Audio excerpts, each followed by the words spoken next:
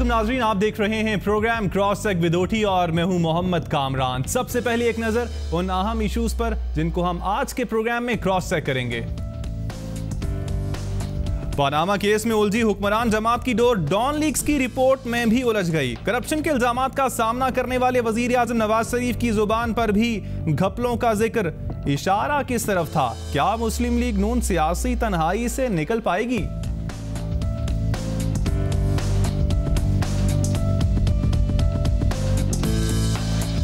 Panama leaks D I T کو مقامی اور غیر ملکی ماہرین کی خدمات حاصل کرنے کے اختیارات مل گئے۔ پاناما فیصلے کی غلط تشریح پر عدالت عظمہ برہم۔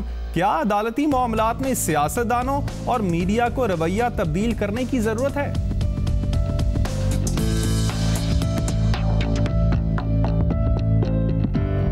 اور پاکستانی فلم انڈسٹری کے لیے اچھی خبر۔ حکومت نے مراعات اور نئی فلم پالیسی تشکیل دینے کا اعلان کر دیا۔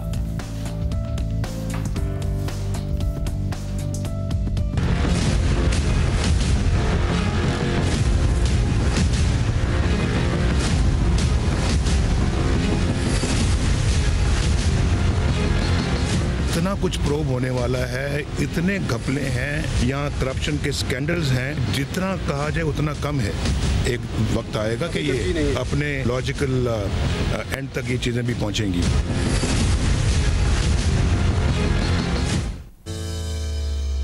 ناظرین حکمران جماعت پاناما لیکس کے مقدمے سے ہی خلاصی حاصل نہ کر پائی تھی کہ اسی دوران ڈان لیکس کی صورت میں ایک نئی مشکل آن کھڑی ہوئی ہے۔ پاک فوج کی جانب سے ڈان لیکس رپورٹ کے بعد حکومتی نوٹیفیکیشن مسترد کیے جانے کے بعد وزیر داخلہ چودری نثار علی خان کی جانب سے رپورٹ کی سفارشات پر مکمل عمل درآمد کا اعلان کیا گیا تھا اور کہا گیا تھا کہ یہ نوٹیفیکیشن وزارت داخلہ جاری کرے گی، لیکن اب تک یہ نوٹیفیکیشن منظر عام پر نہیں آ سکا ہے۔ سیاسی حلقوں کی جانب سے ڈان لیکس رپورٹ کی اشاعت کا مطالبہ بھی شد و مت سے جاری ہے، لیکن حکومت اس رپورٹ کو شائع کرنے سے بھی گریزاں دکھائی دیتی ہے، جس پر سیاسی حلقوں کا کہنا ہے کہ یہ ڈور کہیں ایسی جگہ الجھی ہوئی ہے جسے حکمران جماعت اب تک سلجھا نہیں پا رہی ہے۔ اب پاناما کیس کے فیصلے کی روشنی میں وزیر اعظم نواز شریف اور ان کے دونوں صاحبزادوں، حسن اور حسین نواز کی بیرون ملک جائیداد اور منی ٹریل کے حوالے سے تحقیقات آئندہ دو روز میں شروع ہو رہی ہیں، جس کے ساتھ ہی وزیر اعظم نواز شریف کے سیاسی مستقبل کے حوالے سے ساٹھ فیصلہ کن دنوں کا آغاز بھی ہو جائے گا۔ دو بڑے سکینڈلز کا سامنا کرنے والی حکمران جماعت مسلم لیگ نون سیاسی تنہائی کا شکار ہوتی بھی نظر آتی ہے۔ پیپلز پارٹی نے سیاسی مفاہمت ختم کرنے کا اعلان کر دیا ہے تو ڈان لیگز کے معاملے پر اتحادی جماعتیں بھی تحفظات کا اظہار کر رہی ہیں۔ وزیر اعظم نواز شریف عوامی جلسوں پر جلسے اور ترقیاتی منصوبوں کے اعلانات پر اعلان کر رہے ہیں، جسے کچھ ہلکی ہلکی حکومت کی موجودہ اسکینڈل سے عوامی توجہ ہٹانے کی کوشش قرار دیتے ہیں۔ تو کچھ قبل از وقت الیکشن کی تیاری کہہ رہے ہیں۔ دوسری جانب، وزیر اعظم نواز شریف نے آج میٹرو لنک بس منصوبے کا سنگ بنیاد رکھنے کے موقع پر کہا کہ ملک میں بہت گھپلے ہیں۔ بہت سے معاملات کی تحقیقات ہونی چاہیے۔ ایک وقت آئے گا کہ یہ چیزیں اپنے منطقی انجام تک پہنچیں گی۔ وزیر اعظم کن گھپلوں کی طرف اشارہ کر رہے تھے اور کیا ان معاملات کی تحقیقات حکومت کی ذمہ داری نہیں؟ اس پر بات کریں گے مسلم لیگ نون کے راہ۔ اور ترجمان وزیر اعلیٰ بلوچستان جان اچکزئی ہمارے ساتھ موجود ہیں۔ بہت شکریہ اچکزئی صاحب کیپٹل ٹی وی کو وقت دینے کے لیے۔ وزیر اعظم پاکستان کی جانب سے آج کہا گیا ہے کہ جو بہت سے گھپلے ہیں اور ان کا جو منطقی انجام تک یہ گھپلے خود ہی پہنچیں گے، تو یہ کن گھپلوں کا ذکر کر رہے تھے؟ کس طرف اشارہ ہے؟ وہ گپلے جو عمران خان صاحب نے کیے ہیں جب انہوں نے کمپنی بنائی اس کو ڈکلیئر نہیں کیا مس ڈکلیریشن ہے اپنے ایسٹس کا جو پانچ کمپنیاں ہیں جو ایک کیس چل رہا ہے سپریم کورٹ میں اس کی تلاشی لی جا رہی ہے۔ اسی طرح اس وقت کے پی کے جو ایک کرپشن زون بن چکا ہے جہاں پہ کرپشن کو چیک کرنے کے تمام ادارے تقریباً نابود ہو چکے ہیں وہ ڈس فنکشنل ہو چکے لیکن سر یہ آپ نے ڈائریکٹ پی ٹی آئی پہ کیسے کہہ دیا؟ آپ دیکھیں کہ پچھلے پانچ سال پہلے پہلے پیپلز پارٹی کے گھپلوں کی آپ بات کرتے رہے ان کو آپ نے بڑے بڑے بلنگو باندھ دعوے کیا تھے کہ ان سے آپ لوٹی ہوئی رقم واپس لیں گے۔ تو ڈائریکٹ پی ٹی آئی پہ صرف گھپلوں کی بات کیسے ہو سکتی ہے؟ یہ تو گھپلے بہت سارے ہیں۔ بالکل پیپلز پارٹی کا جہاں تک تعلق ہے نیب میں اس کے کیسز بھی چل رہے ہیں کورٹس میں بھی چل رہے ہیں۔ کورٹس نے فیصلہ الٹیمیٹلی کرنا ہے جو انٹروورٹیبل ایویڈنسز ہیں۔ تو وہ تو معاملات ہیں اس کو آج بھی آپ نے دیکھا جو ان کے ایکس پرائم منسٹر ہیں پرویز اشرف۔ صاحب وہ بھی آج کورٹ میں پیش ہوئے۔ تو ان کی تو جاری ہے تلاشی۔ لیکن اب وقت آ گیا ہے کہ عمران خان صاحب تلاشی دیں۔ پی ٹی آئی کی جو کے پی کے کی لیڈرشپ ہے ان کی کیبنٹ پہ سیریس ایلیگیشنز ہے۔ کرپشن کے اپنے کھلیز نے لگائے، خود پی ٹی آئی کے اندر ان کے اکبر اس بابر جو ان کے بانی ہے انہوں نے کرپشن کے الزامات منی لانڈرنگ کے لگائے۔ خود جسٹس وجیہ الدین صاحب نے کہا کہ ٹکٹ بیچے گئے ہیں۔ تو اب ضرورت اس عمر کی ہے کہ خان صاحب تلاشی دیں اور کرپشن کے حوالے سے جو الزامات ہے قوم کو اس کا جواب دیں۔ سر، لیکن آپ کی بات سے ایسے لگتا ہے کہ آپ کا پی ٹی آئی پہ ہے، پیپلز پارٹی پہ نہیں ہے، تو ایسا کیوں ہے؟ دیکھیے ہم نے کچھ نہیں کرنا نیب نیب نے کرنا ہے اداروں نے کرنا ہے وہ اسٹیچوٹری باڈیز ہیں انہوں نے دیکھنا ہے فیکٹس اسی طرح ہم بیسے ایم این اے ایک ایک ایم این اے کے خلاف کاروائی وہی کریں گے جو لیگل پروسیجرز ہیں جس کے مطابق آپ اے سی پی کے پاس جائیں گے جس طرح ان کا ایک کیس چل رہا ہے انہوں نے ٹیکنیکلٹی پہ ان کو کوشچن کیا ہے کہ اے سی پی منی لاؤنڈرنگ کا جو کیس ہے وہ نہیں اٹھا سکتی ان کی جورسٹکشن کا ایشو ہے۔ اسی طرح حنیف عباسی صاحب کا ایک ایک پٹیشن ہے سپریم کورٹ میں جہاں پہ عمران خان صاحب نے پھر منڈے کو پیش ہونا ہے اور جو ان پہ سیریس ایلیگیشنز ہیں جن کے ثبوت ہیں وہ کمپنیاں جنہوں نے باہر سے پیسہ ان کو آیا ہے لمیٹڈ کمپنیاں ہیں اس میں جیوز بھی شامل ہے اس میں انڈینز بھی شامل ہے اور اسٹیٹ ڈپارٹمنٹ کے ویب سائٹ پہ ہے۔ تو یہ ثبوت سب ہمارے سامنے ہیں یہ سپریم کورٹ کے سامنے۔ اب دیکھنا یہ ہے کہ قانون اور شہادتوں کی بالادستی کی بنیاد پہ خان صاحب کے ساتھ ادارے کیا کرتے ہیں؟ سر اب یہ ہے کہ الزامات لگائے جاتے ہیں اس جانب سے بھی آپ پی ٹی آئی کی بات کر لیں پیپلز پارٹی کی بات کر لیں، الزامات لگائے جاتے ہیں، آپ کی جانب سے بھی آج گھپلوں کی بات کی گئی۔ لیکن یہ الزامات برائے الزامات ہی ہو رہے ہیں، ان کے حل کی جانب یا کوئی چیز سامنے نہیں آ رہی ہے، اس کی کیا وجہ ہے؟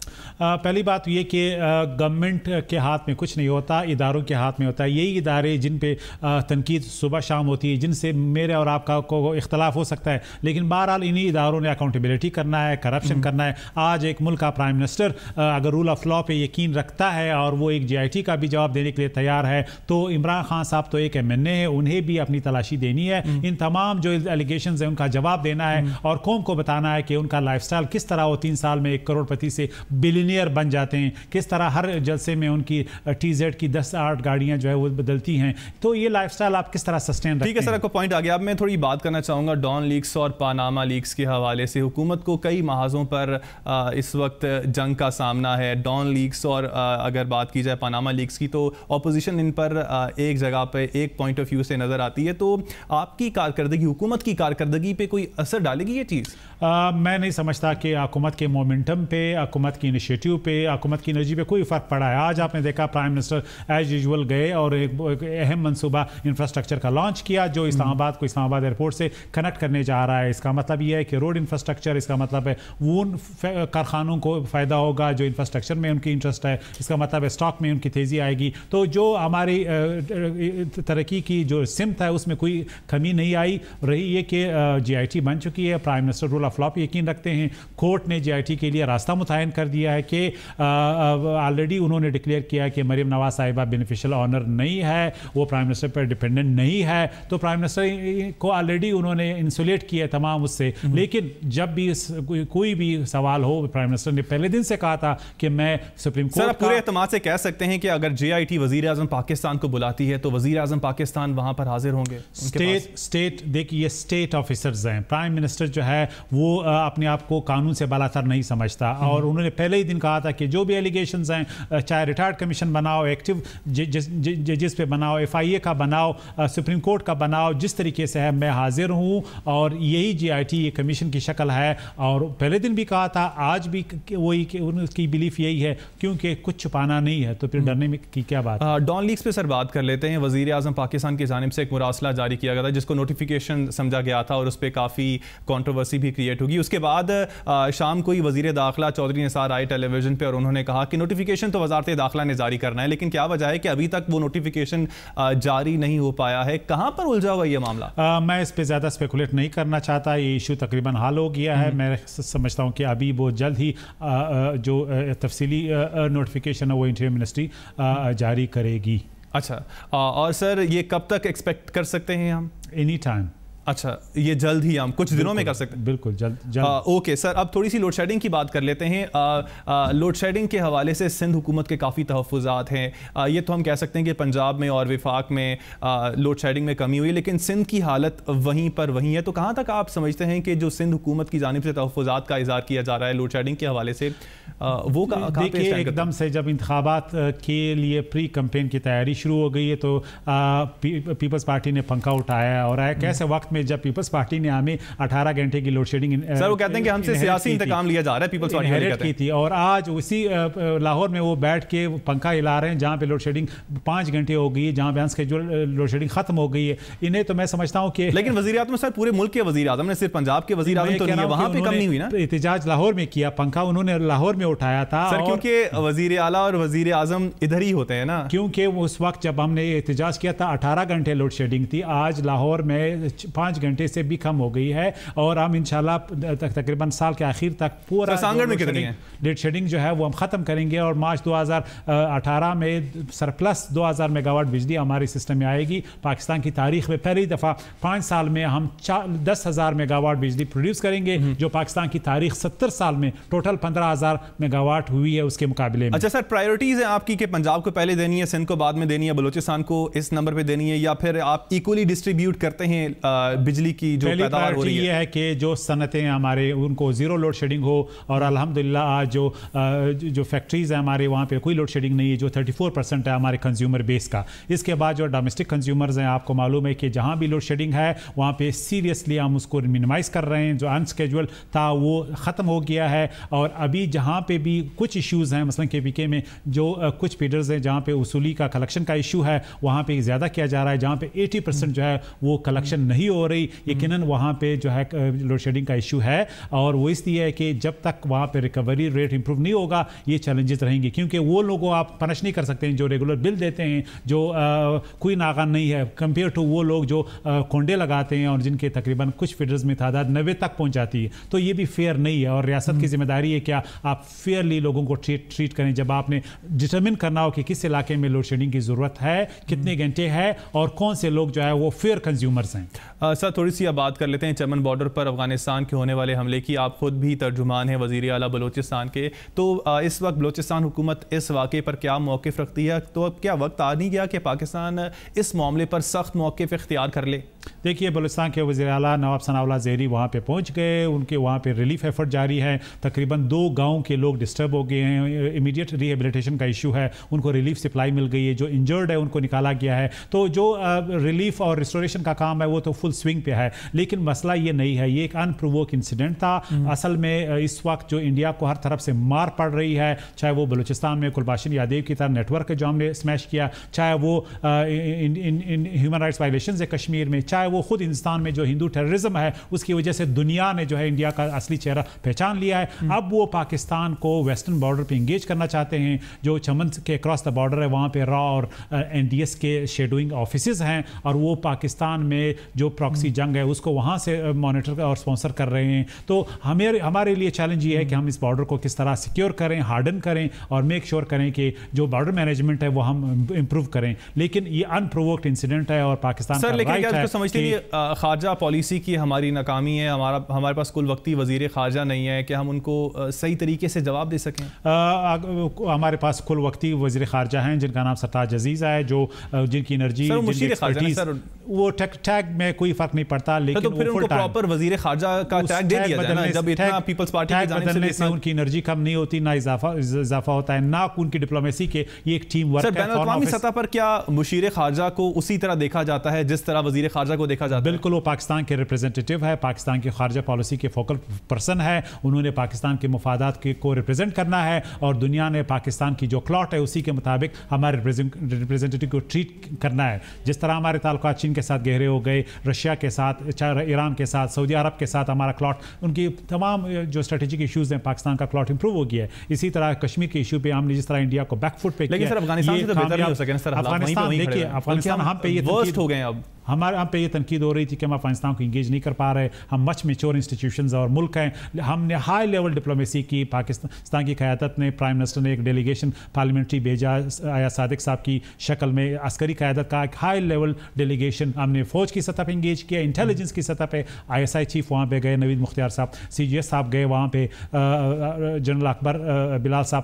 ہم نے تین فرانگ اسٹریٹجی اڈاپٹ کی کہ جو ایشوز ہیں وہ ہم ڈیفیسٹ کو کم کریں لیکن اصل میں اس وقت کابل ایک ولنگ پارٹنر پیس میں نہیں ہے نہ طالبان کے ساتھ ریکنسیلیشن میں نہ بائی لیٹرل ایشوز امپروو کرنے میں۔ اور امریکہ کی ذمہ داری یہ ہے کہ وہ کابل گورنمنٹ پہ پریشر ڈالے کہ جو بھی ایشوز ہیں وہ ڈپلومیسی کے ذریعے حل کرے نہ کہ اس طرح کے جو واقعات انفارچونیٹ کل ہوئے ہیں جو انتہائی قابل افسوس اب سر لائے عمل کیا آپ کا۔ اس کو بین الاقوامی فورم پر اٹھانے کے لیے اس وقت وفاقی حکومت کا لائے عمل کیا ہوگا کہ اس کو ہم باقاعدہ طور پر اس کو لوگوں کے سامنے اپنی انٹرنیشنل میڈیا کے سامنے انٹرنیشنل جو بھی ہمارے اسٹیک ہولڈرز ہیں ان کے سامنے ہم اس بات کو اٹھائیں کہ یہ چیز غلط ہو رہی ہے۔ پہلی بات یہ سب سے بڑا لیوریج افغانستان میں اس وقت کابل گورنمنٹ پہ امریکہ کا ہے۔ امریکہ کو ہم انگیج کریں گے کہ افغانستان میں صورتحال اس وقت تک امپروو نہیں ہوتی جب تک امریکہ کا کابل گورنمنٹ پہ پریشر نہیں ہوتا۔ تو اس حوالے سے ہم جو مصالحت ہے طالبان کے ساتھ وہ آگے نہیں جائے گا۔ بائی لیٹرل ایشوز حل نہیں ہوں گے۔ لیکن کہا جاتا ہے کہ اس کے اندر افغانستان حکومت کا تو ہاتھ نہیں نا۔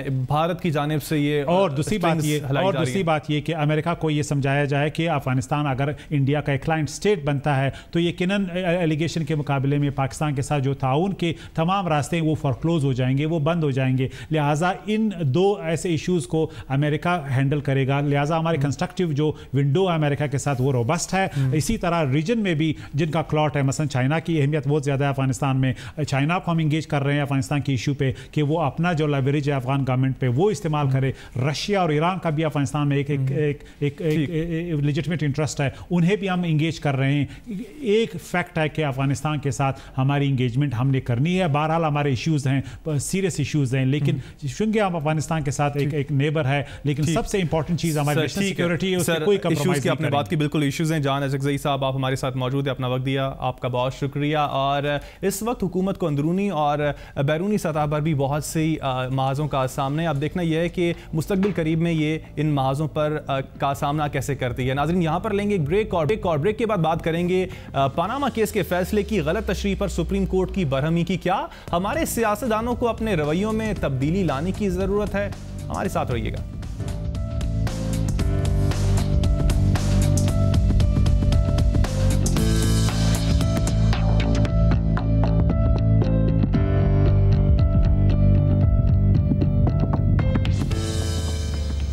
ناظرین پیناما سکینڈل کی تحقیقات کے لیے director F I A Wajid Zia کی سربراہی میں چھ رکنی جے آئی ٹی تشکیل دے دی گئی ہے، جو پیر سے اپنی تحقیقات کا آغاز کرے گی۔ کمیٹی تحقیقات میں معاونت کے لیے مقامی اور بین الاقوامی ماہرین کی خدمات بھی حاصل کر سکے گی اور ہر پندرہ روز بعد پیش رفت سے متعلق رپورٹ عدالت میں پیش کرنے کی پابند ہوگی۔ پاناما کیس کے فیصلے پر عمل درامت کے حوالے سے سپریم کورٹ کے خصوصی بینچ کے سربراہ جسٹس اعجاز افضل نے گزشتہ سماعت کے موقع پر پاناما کیس کے فیصلے کی غلط تشریح پر شدید برہمی کا اظہار کیا۔ انہوں نے ریمارکس دیتے ہوئے کہا کہ ایک سیاسی لیڈر نے کہا کہ پانچوں ججز نے وزیر اعظم کو جھوٹا قرار دیا ہے۔ وزیر اعظم کو نہ تو میں نے جھوٹا قرار دیا اور نہ ہی اس بینچ میں موجود باقی دو دو ججز نے ایسا کہا۔ ہمیں عدلیہ اور آزادی میں توازن رکھنا ہے۔ عدالت عظمہ کی جانب سے یہ وارننگ بھی دی گئی کہ آئندہ ججز کو غلط طور پر منسوب کیا گیا تو ایسا کرنے والوں کو کٹہرے میں لایا جائے گا۔ ناظرین، پاناما کیس کی ہر سماعت کے بعد دیکھا جاتا رہا ہے کہ پہلے احاطہ عدالت میں اور پھر شام کو میڈیا پر عدالتیں لگتی رہتی ہیں۔ حکمران جماعت ہو یا تحریک انصاف اور پاناما مقدمے کی فریق دوسری سیاسی جماعتیں، ان کے رہنما ہر سماعت کو اپنے حق میں ثابت کرنے کے لیے ایڑی چوٹی کا زور لگاتے دکھائی دیتے ہیں اور میڈیا پر الگ باتیں ہوتی رہتی ہیں۔ پاناما فیصلے کے بعد تو یہ کیفیت اپنے عروج پر دکھائی دی اور بجائے اس کے کہ اس فیصلے کے قانونی پہلوؤں پر توجہ دی جاتی، تمام فریقین اس فیصلے کا سیاسی فائدہ اٹھانے کی کوششوں میں مصروف دکھائی دیے اور اس کی اپنے اپنے انداز میں تشریح کرتے ہوئے دونوں طرف خوشی کے شادیانے بجائے گئے۔ پاناما فیصلے کی تشریح کے حوالے سے سپریم کورٹ کے ریمارکس کتنے اہم ہیں؟ کیا عدالت کی جانب سے دی جانے والی وارننگ کے بعد ہمارے سیاستدانوں کے روایتی بیان بازی کے رویے میں تبدیلی کی توقع کی جا سکتی ہے؟ اس پر بات کریں گے۔ ہمارے ساتھ موجود ہیں، ماہر قانون بھی ہیں اور ترجمان ہیں قومی وطن پارٹی کے بیرسٹر مسرور۔ بہت شکریہ۔ اور آپ سے ہم بطور ماہر قانون اور بطور قومی وطن پارٹی کے ترجمان کے ہم آپ کا تجزیہ لیں گے۔ سب سے پہلے بطور ترجمان قومی وطن پارٹی آپ سے پوچھ لیتے ہیں۔ ڈسپائٹ کہ آپ کولیشن پارٹنر ہیں کے پی کے میں، پی ٹی آئی کے، آپ نے وزیر اعظم کے ریزگنیشن کی حمایت نہیں کی ہے۔ اس کے پیچھے کیا وجوہات ہیں؟ دیکھیں بات یہ ہے کمران کہ ایک ڈیموکریسی میں صرف الزامات کی بنیاد پر ایک الیکٹڈ پرائم منسٹر کو گھر بھیج دینا یہ ایک بہت زیادہ غلط ٹرینڈ سیٹ ہو جائے گا۔ اگر اسی طرح الزامات کی بنیاد پر انلیس انٹل کوئی جوڈیشل ڈکری کوئی ورڈکٹ یا کوئی کنوکشن نہیں ہو جاتی ہم۔ نہیں چاہتے کہ ڈیموکریسی ہماری آلریڈی بڑی فریجائل ہے۔ بڑی مشکلوں سے ملک میں ڈیموکریسی پنپی ہے۔ آپ دیکھیں پاکستان کی کتنی لمبی ستر سالہ تاریخ ہے۔ اس میں پہلی دفعہ ایک گورنمنٹ الیکٹڈ گورنمنٹ نے اپنا پورا ٹینیور ختم کیا پچھلا پیپلز پارٹی کا اور پھر الیکٹورل پروسیس سے دوسری گورنمنٹ کو طاقت منتقل ہوئی۔ تو اگر صرف الزامات پر ہوتا تو پھر تو نہ پچھلی پیپلز پارٹی حکومت کمپلیٹ کرتی اپنا ٹینیور نہ یہ گورنمنٹ ٹینیور پورا کرتی اور پھر وہی جس طرح ہم ففٹیز میں دیکھتے تھے کہ دو دن ایک گورنمنٹ آتی تھی دو دن دوسری ڈیموکریسی کی جو فاؤنڈیشن ہے وہ مضبوط نہیں ہوتی۔ لیکن اس کا مطلب یہ نہیں ہے کہ ہم کئی کرپشن کو سپورٹ کر رہے ہیں یا ہم بالکل لیکن سر آپ نے پچھلی گورنمنٹس کی بات کی اب پچھلی گورنمنٹس میں جے آئی ٹی کریشن کی بات کوئی نہیں ہوئی؟ اب جو پی ٹی آئی کا موقف یہ ہے کہ جے آئی ٹی پہ اثر انداز ہو سکتے ہیں وزیر اعظم پاکستان بطور وزیر اعظم تو کیا یہ ان کا کہنا غلط ہے؟ بالکل غلط ہے۔ دیکھیں بات یہ ہے کہ ہم پاناما جو ایشو جب آیا تو ہماری قومی وطن پارٹی کے چیئرمین آفتاب شیرپاؤ صاحب نے اس وقت بھی وزیر اعظم کو مشورہ دیا تھا کہ آپ پارلیمنٹری پارٹیز کے سربراہان پر مشتمل ایک کمیشن بنا لیں اور وہ اس کا پارلیمنٹ کے اندر ہی اس کی انویسٹیگیٹ کریں گے۔ بہرحال وہ جب نہیں مانے معاملہ سپریم کورٹ گیا ریسٹ اسی سب کو پتہ ہے آج لیٹسٹ کیا سچویشن ہے۔ ہماری پارٹی کا اور ہمارے لیڈر آفتاب شیرپاؤ صاحب کا سٹانس یہ ہے کہ ایک سپریم کورٹ نے ورڈک دیا ہے۔ اب جی آئی ٹی ہے جی آئی ٹی اپنی انویسٹیگیٹ کرے گی۔ اگر وزیر اعظم اس میں گلٹی قرار پاتے ہیں تو پھر وہ وزیر اعظم ہاؤس میں کیا رہیں گے؟ وہ اڈیالہ جیل جائیں گے۔ لیکن اگر وہ نہیں اس میں گلٹی پاتے تو پھر بالکل ہیل کنٹینیو ٹو ورک اچھا دوسری بات جو آپ بات کریں اثر انداز ہونے کا۔ جو سپریم کورٹ کے جج صاحبان تھے جنہوں نے اتنی لمبی پروسیڈنگ سنی اور انہوں نے معاملہ جے آئی ٹی کی طرف لے کے گئے جو بالکل آرٹیکل 184.3 کی بالکل صحیح تشریح ہے کہ آرٹیکل 184.3 کی پیٹیشن کے انڈر تو سپریم کورٹ خود نہ انویسٹیگیٹ کر سکتی ہے نہ وہ ٹرائل کورٹ ہے کہ کورٹ آف فیکٹ ہے کہ وہ فیکٹ فائنڈنگ کرے۔ تو وہ بالکل صحیح تشریح کی۔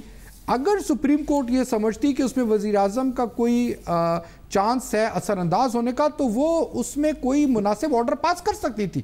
لیکن ایسا نہیں ہوا۔ اور دیکھیں جی آئی ٹی کے میں بھی جو کل آرڈر ہوا ہے اس کو آرڈر کوئی پڑھیں تو آپ کو اس کی ٹرانسپیرنسی کے بارے میں پتہ چلے گا اور کتنی سپروائزری کنٹرول ہے سپریم کورٹ کا۔ لیکن سر جو سیاسی جماعتوں کے تحفظات ہیں کیا وہ ختم ہو پائیں گے کبھی؟ دیکھیں وہ تو بات یہ سیاسی جماعتوں کے تحفظات کی بات تو یہ نا کہ دیکھیں وہ تو اب یہ جے ٹی کے بننے کے اوپر بھی تحفظات تھے۔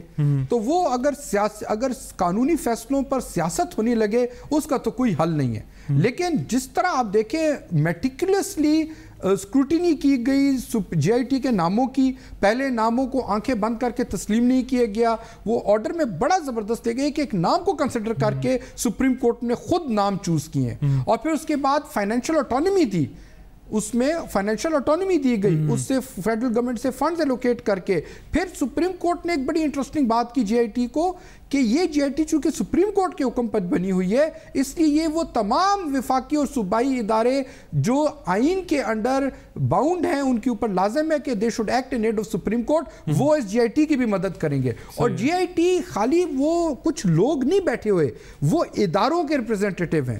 اگر کوئی کارپوریٹ لا میں ان کو ہیلپ چاہیے تو ایس سی سی پی پورا ادارہ بھی ان کی ہیلپ کرے گا۔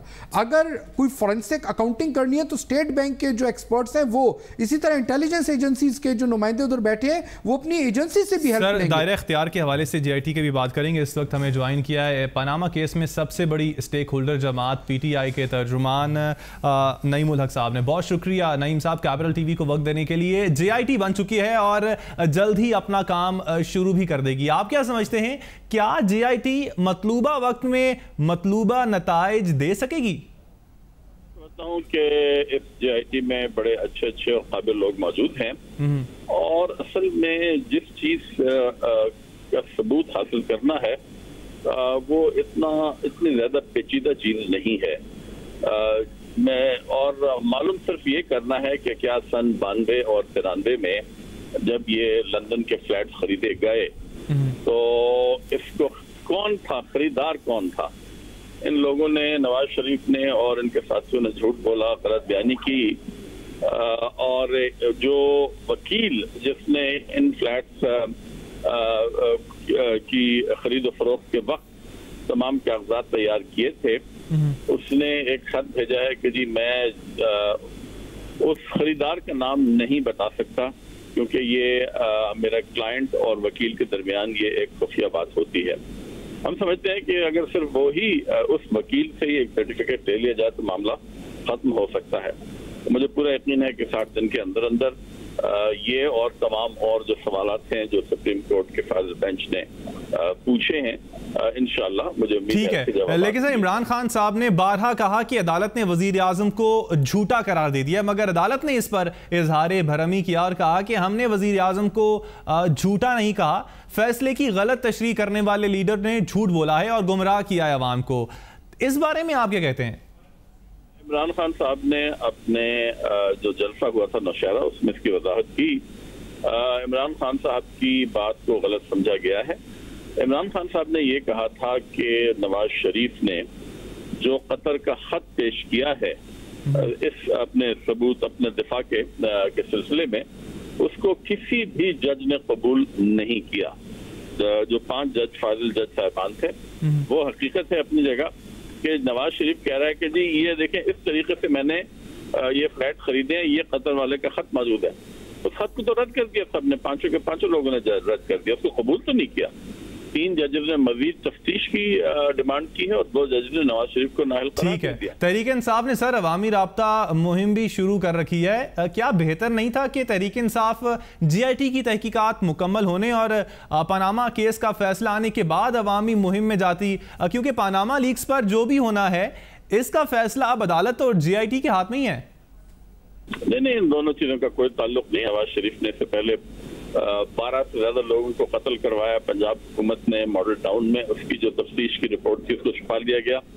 پھر انہوں نے پاکستانی افواج کے خلاف پرائم منسٹر ہاؤس سے ایک سازش کی، ایک مفروضے کی بنیاد پر سازش کی اور وہ خبر اخبار میں لیک کی گئی۔ اس کی رپورٹ جو بنی ہے اس کو بھی انہوں نے دبا دیا۔ اور پاناما کا تو دبایا ہوا ہے ہی۔ ہم سمجھتے ہیں کہ نواز شریف جو ہیں، وہ ہر قسم کا جواز، اخلاقی یا قانونی کھو بیٹھے ہیں، وزارت عظمہ کے فائد رہنے کا۔ ہماری جو مہم ہے عوام کو ان تمام مسائل کی طرف ان کی توجہ دلانے کے حوالے سے ہے۔ اس کے علاوہ اقتصادی حالت ملک کی بہت خراب ہے۔ اس کی طرف ہم توجہ دلا رہے ہیں۔ اور ہمارے جلسے تو جاری رہیں گے۔ ان کا تعلق جے آئی ٹی یا کسی اور سے نہیں ہے۔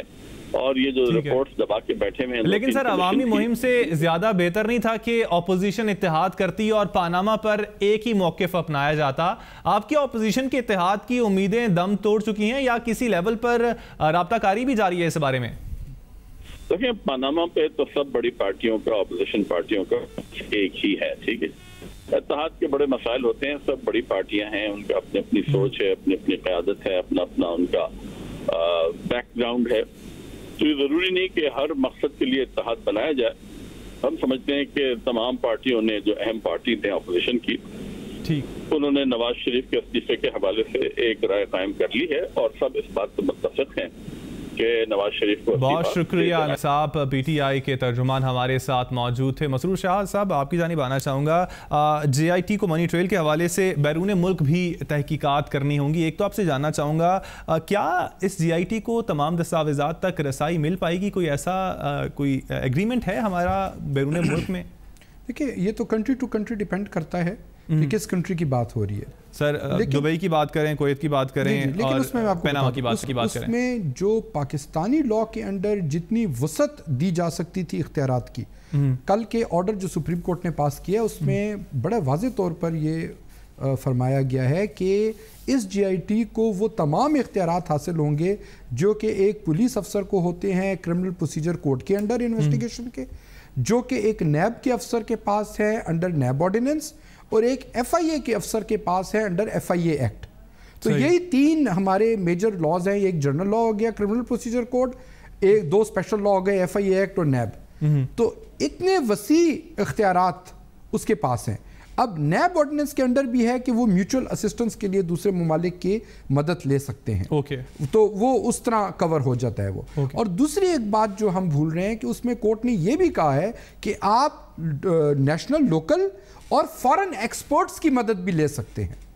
تو. فارن ایکسپرٹس میں ان کے لائرز بھی ہو سکتے ہیں وہاں کی لوکل جورسڈکشن کے جو کہ اگر کوئی نیسسری کورٹ سے درخواست اپروف کروانی ہے یا کورٹ سے کوئی ان سے سمن کروانا ہے کوئی ڈاکومنٹ تو وہ بھی کر سکتے ہیں اور ان کے جو اکاؤنٹنگ ایکسپرٹس وغیرہ کوئی بھی تو سر ساٹھ دن کیا کافی ہوں گے جو بات آپ کر رہے ہیں جی۔ یہاں سے باہر رابطہ کرنا کسی بھی سولیسیٹر کے ساتھ کسی بیرسٹر کے ساتھ کسی وکیل کے ساتھ اور پھر اس نے اپروو کروانا کہ وہ وہاں پہ تحقیقات کر سکتے ہیں پھر وہ تحقیقات کرے جس کے تھرو بھی تحقیقات کی جائیں اور واپس وہ آئے کہ تحقیقات میں یہ نکلا تو کیا ساٹھ کافی ہیں؟ نہیں ساٹھ تو مجھے بھی لگتا ہے کہ دن کم ہے لیکن اس میں یہ چونکہ سپروائزری جورسڈکشن سپریم کورٹ کے پاس ہے اور ہر پندرہ دن فورٹ نائٹ کے بعد سپریم کورٹ میں یہ ہیرنگ بھی ہوگی تو اس میں اگر سپریم کورٹ یہ سمجھے کہ ہم مناسب پیس پہ ڈیولپمنٹ ہو رہی ہے انویسٹیگیشن پہ تو ہو سکتا ہے کہ اس کو وہ ایکسٹینڈ بھی کر دے۔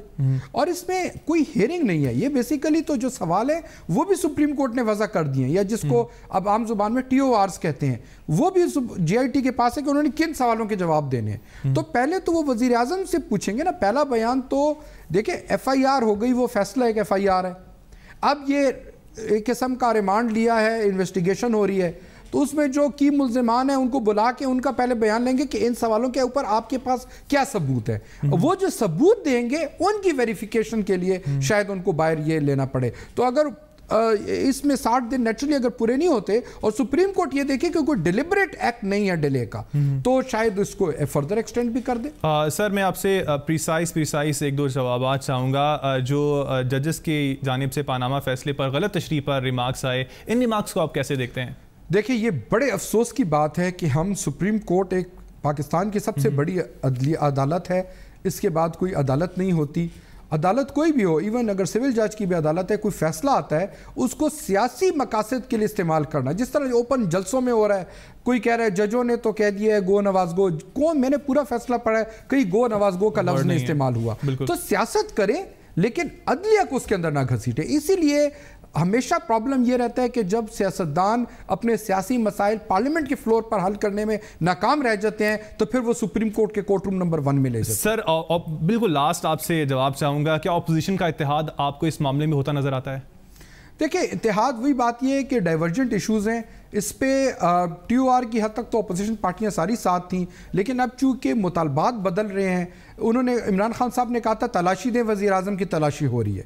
تو اب اس کے بعد تلاشی سے پہلے وزیر اعظم کو گھر دینا میرے بھیج دینا میرے خیال میں یہ اٹ مینس کنڈیمنگ ہم انہرڈ ان کو ایک موقع ملا ہوا ہے جی آئی ٹی کے سامنے پیش ہو۔ اگر وہاں پہ دودھ کا دودھ پانی کا پانی ہو جائے گا۔ اگر وہاں پہ وہ سرخرو ہو جائیں گے وزیر اعظم کی کرسی پہ بیٹھے رہیں گے نہیں ہوگا تو وہ اڈیالہ جیل جائیں گے۔ مسرور شاہ صاحب آپ نے اپنا وقت دیا اور ان کا یہی کہنا تھا کہ جے آئی ٹی کو وسیع تر اختیارات دیے گئے ہیں لیکن ساٹھ دن شاید کم ہوں گے اور سپریم کورٹ اس حوالے سے ایکسٹینشن بھی دے سکتی ہے۔ ناظرین یہاں پر لیں گے ایک بریک اور بریک کے بعد بات کریں گے زبو حالی کی شکار پاکستانی فلم انڈسٹری کے لیے ایک اچھی خبر کی کہ حکومت نے فلم انڈسٹری کو مراد دینے اور نئی فلم پالیسی کی تشکیل کا اعلان کر دیا ہے۔ ہمارے ساتھ رہیے گا۔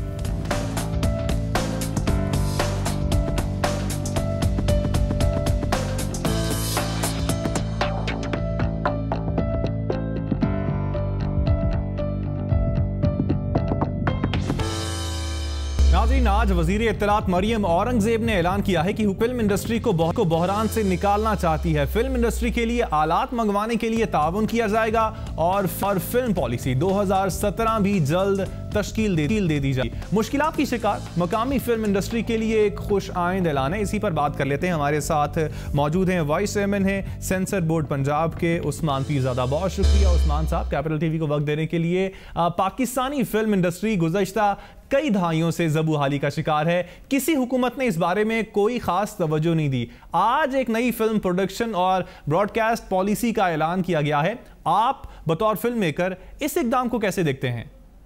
میں سمجھتا ہوں کہ یہ بڑا اچھا ایک قدم ہے، کیونکہ فلم انڈسٹری کسی بھی ملک کی جو ہوتی ہے وہ ملک کی شناخت اور ملک کی کیا چہرہ ہوتی ہے مطلب سو اٹ از امپورٹنٹ کہ یہ حکومت نے اس کے بارے میں سوچا ہے اٹس ویری گڈ کہ منسٹر صاحبہ نے یہ پالیسی جو ہے ویریس پہلوز جو ہیں، ان کے اوپر بات کی ہے۔ اور ایک جامع پالیسی جو ہے وہ انشاءاللہ جلد اناؤنس کی جائے گی یہ بھی ہم نے سنا ہے۔ لیکن میں سمجھتا ہوں کہ یہ جو بھی ابھی فیسلٹیز دی گئی ہیں فلم میکرز کو یہ بہت ایک ویلکمنگ سائن ہے۔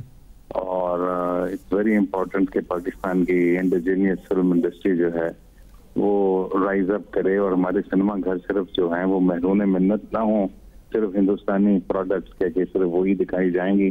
تو ہماری صنعت جو ہے جو فلمی ٹریڈ ہے وہ بچے گی۔ So it is very important کہ گورنمنٹ اس طرح کے اسٹیپس اٹھائے کہ ہوم ہوم جو ہماری پروڈکٹ ہے جو ہوم فلم انڈسٹری ہے وہ امپروو کر سکے۔ ٹھیک۔ بہت شکریہ عثمان پیزادہ آپ نے کیپٹل ٹی وی کو وقت دیا۔ اب ضرورت اس بات کی ہے کہ یہ جو نئی پالیسی کا اعلان کیا گیا، اس حوالے سے جلد از جلد اقدامات بھی کیے جائیں۔ اس کے ساتھ ہی کراس چیک ودوٹی سے مجھے محمد کامران کو دیجیے گا اجازت۔ اللہ نگبان